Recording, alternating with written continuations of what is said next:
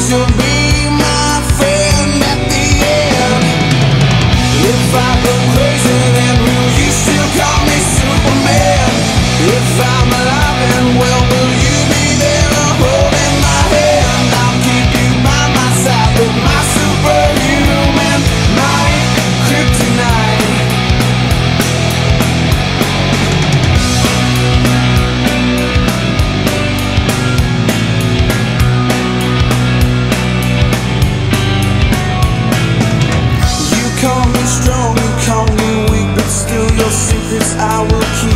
You took for granted all the times I never let you down. You stumbled in and bumped your head. If not for me, then you'd be dead. I picked you up, put you back on ground.